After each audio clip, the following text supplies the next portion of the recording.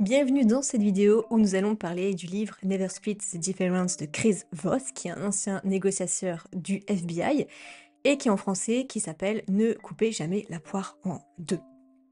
Donc c'est un livre qui est extrêmement euh, intéressant puisque des négociations de la part d'une personne qui a travaillé dans le FBI, qui a connu des situations de crise, d'otages, euh, de, personnes qui menaçaient de, se tuer, euh, voilà, vraiment des situations très délicates. Euh, ici, on peut en prendre application dans la vie personnelle et c'est ce que je vais vous donner dans cette vidéo. On va voir les 10 applications concrètes. Donc, c'est parti. La première technique, c'est l'effet miroir. C'est-à-dire que vous allez répéter les derniers mots ou les dernières phrases de votre interlocuteur pour encourager la conversation, pour qu'il se livre davantage. Admettons, euh, vous avez votre partenaire qui vous dit je me sens fatigué après cette journée. Eh bien, vous pouvez lui répondre, reprenez ces mots et vous lui dites fatigué après cette journée? Donc vous reprenez à chaque fois. Ou alors, je me sens pas très bien en ce moment. Tu te sens pas très bien en ce moment? Et du coup, la personne, elle va se sentir comprise et ça va l'inciter à dévoiler davantage ce qu'elle a envie d'exprimer. La deuxième technique, c'est le labeling, c'est-à-dire mettre des étiquettes sur les émotions. Vous allez identifier et verbaliser les émotions que vous voyez chez votre interlocuteur. On voit souvent ça dans euh, le GIGN, le FBI ou les situations délicates de personnes qui pètent un peu un câble et qui euh, en fait sont tristes et euh, se sentent dépassés et vont, vont faire un peu n'importe quoi. Ils vont par exemple prendre quelqu'un en otage et souvent vous avez un membre par exemple du GIGN qui va lui dire en fait je vous sens juste un peu dépassé par les événements est-ce que en ce moment il s'est passé quelque chose? Je vous sens stressé. J'ai l'impression que vous êtes triste. Donc là, la personne peut se sentir un peu plus comprise et dire oui, c'est vrai, en ce moment, je me sens triste, je me sens dépassée parce que j'ai plus, je sais plus la garde de mon fils, par exemple. Donc du coup, voilà, je, je me sens pas bien. Et la personne du, du GIGN peut dire mais c'est ça en fait, c'est pas que vous êtes quelqu'un de méchant ou vous voulez pas faire de mal à personne, c'est que juste vous sentez dépassé. Et donc ça peut calmer ainsi les émotions. Donc, parce que c'est très rare finalement que des personnes s'arrêtent et verbalisent les émotions de quelqu'un d'autre. Et du coup, la personne se sent comprise et va, instaurer davantage de dialogue et euh, revenir à une situation beaucoup plus calme. Donc, par exemple, vous pouvez dire à quelqu'un, on dirait que tu es préoccupé par quelque chose et ça lui permettra de se sentir compris et d'exprimer ses sentiments s'il le souhaite. La troisième technique, c'est euh, l'empathie tactique. Donc là, c'est reconnaître ce que l'autre ressent sans nécessairement être d'accord pour montrer que tu comprends sa perspective. Donc en gros, c'est la phrase je te comprends. Même si on n'est pas d'accord, même si on n'a pas le même point de vue, au moins dire je te comprends. Parce que la personne avec son histoire, ses valeurs, sa façon de faire, ça peut être logique dans sa façon de faire. Donc vous pouvez dire je comprends, même si c'est pas euh, ce que vous auriez fait à sa place. Donc par exemple, si votre partenaire il est frustré à cause du travail, vous pouvez dire je comprends que tu te sentes submergé en ce moment avec tout ce que tu as géré.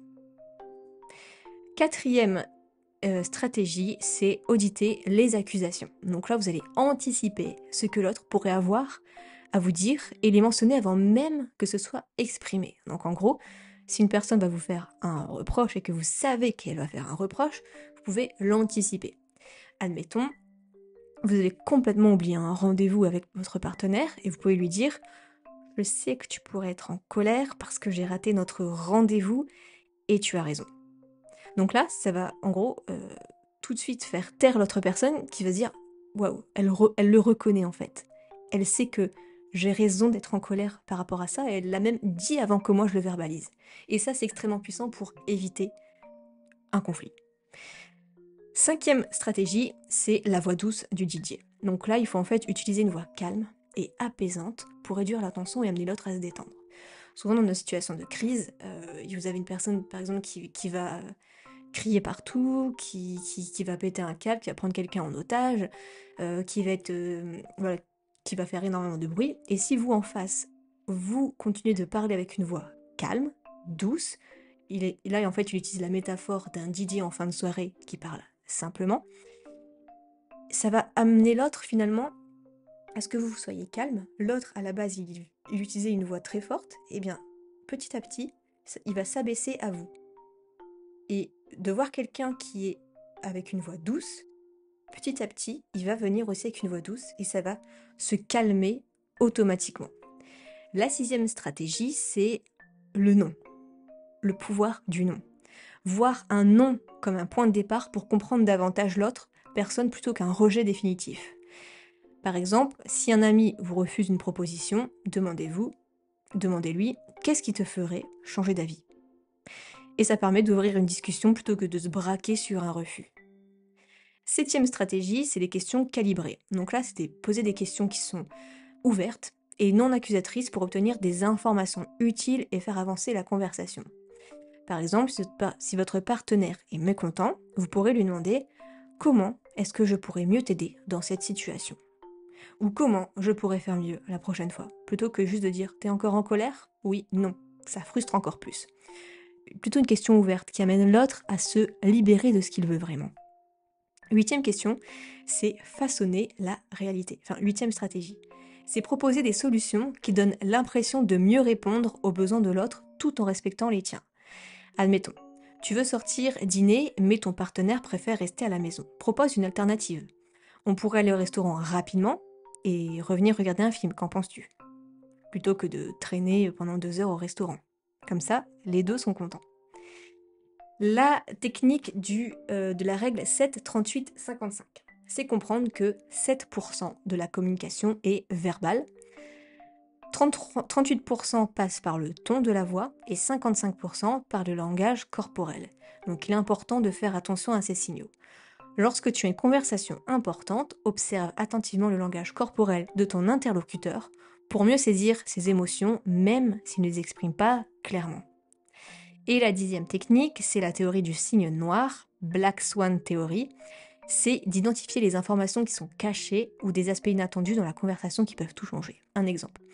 Si euh, ton ami ou ton partenaire semble réagir de manière inattendue à un sujet, essaye de poser des questions pour découvrir une information que tu aurais pu manquer, comme un événement récent qui pourrait influencer son humeur. Donc, c'est-à-dire que d'habitude, il réagit d'une certaine façon, mais comme là, il réagit pas de la même façon, c'est peut-être juste qu'il s'est passé quelque chose d'autre.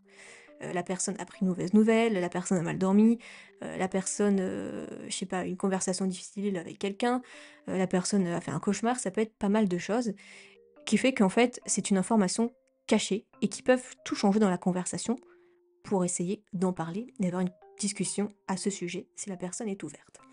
Donc voici pour les 10 techniques concrètes qu'on peut appliquer de ce livre. Si vous en avez d'autres à proposer et un exemple concret, n'hésitez pas à le poser en commentaire. Euh, vous mettrez le lien de ces 10 conseils concrets dans la description et on se retrouve dans une prochaine vidéo.